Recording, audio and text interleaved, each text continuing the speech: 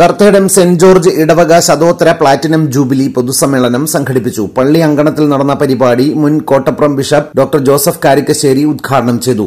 ഈ അടുത്ത് പോലെ പള്ളിയിലെ കർമ്മങ്ങളൊക്കെ കഴിഞ്ഞാൽ ഇങ്ങനെ ഒരു കൂട്ടായ്മ ഉണ്ടാകാൻ ബുദ്ധിമുട്ടാണ്. പക്ഷേ പള്ളി മുറ്റം നിറച്ച് വിശ്വാസികൾ കൂടിയിട്ടുണ്ടെന്നുള്ളതും വളരെ ശ്ലാഘനീയമായ അഭിനന്ദനാർഹമായ കാര്യമാണ്.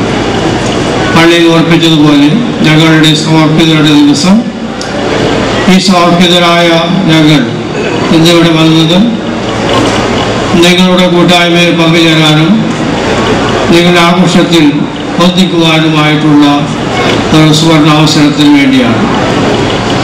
നിങ്ങളിവിടെ ഒരുമയിലും സ്നേഹത്തിലും ഐക്യത്തിലും ജീവിച്ചുകൊണ്ട് ദൈവത്തിന്റെ സ്നേഹം നമ്മളെല്ലാവരും ദൈവപിതാവിന്റെ മക്കളാണെന്ന നിലയിൽ ജാതിമതം ഏതായാലും ശരി മക്കളെന്ന നിലയിൽ നമ്മൾ ജീവിച്ചാൽ നമുക്ക് അത് മറ്റുള്ളവർക്ക് യേശു മാതൃകയാണ് വരാപ്പുഴ അതിരൂപത വികാരി റവറൻ മോൺസിൻജോർ മാത്യു എലഞ്ഞിമറ്റം അധ്യക്ഷത വഹിച്ചു. ഇടവക വികാരി father Francis Dixon Fernandez Elamkunnapuzha ഗ്രാമപഞ്ചായത്ത് പ്രസിഡന്റ് രസികല പ്രിയരാജ് ജില്ലാ പഞ്ചായത്ത് അംഗം Dono master block member Josy Vypin panchayat അംഗങ്ങളായ Mary Peter Freeda Alby Alice Sebastian Raziya Jamal ഇൻസെൻഷ്യ Leslie general convener Xavier നടിക്കുന്നത്ത് എന്നിവർ പ്രസംഗിച്ചു. തുടർന്ന് വിവിധ മത്സരങ്ങളിൽ വിജയികളായ ബ്ലോക്കുകൾക്ക് എവർ റോളിംഗ് ട്രോഫികളും ക്യാഷ് അവാർഡും നൽകി ആദരിച്ചു.